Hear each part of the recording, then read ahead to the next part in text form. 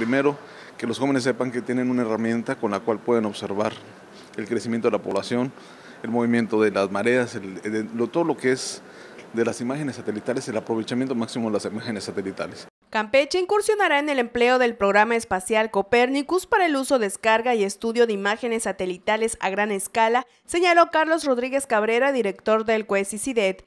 Este es un programa coordinado desde la Comisión Europea para el Desarrollo de Proyectos de Larga Escala, pero que ahora abre la oportunidad de que investigadores, estudiantes y personas interesadas puedan hacer uso de él. Vivimos en un mundo de grandes desafíos medioambientales. Debemos intentar afrontar las consecuencias del calentamiento global, los problemas creados por la superpoblación, el consumo excesivo y el agotamiento de recursos naturales. ¿Cómo podemos gestionar mejor el consumo y el uso de los recursos naturales de la Tierra y proteger el medio ambiente?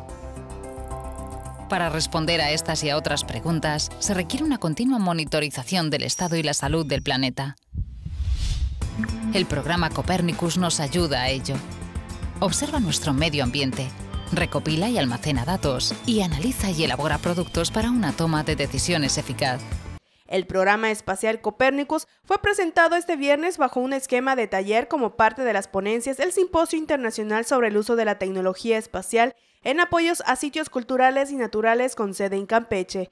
Carlos Rodríguez Cabrera, informó que desde este simposio se tuvo el primer acercamiento con dicho programa, pero se dará continuidad en la capacitación de estudiantes e investigadores campechanos para su replicación y uso. Estamos aprovechando que tenemos la presencia de las universidades que han manejado este tema y el desarrollo del software para hacer la capacitación de los estudiantes y que sepan hacer un buen manejo de las herramientas y más adelante igual junto con las universidades se platicará para ver cómo hacemos el convenio y que vengan de, la Unión Europea, del programa Copérnicos, para dar capacitación a los jóvenes. Y es que a través del programa espacial Copérnicus se pueden estudiar, analizar zonas geográficas del Estado y hasta prevenir principios de invasiones urbanas en áreas naturales protegidas.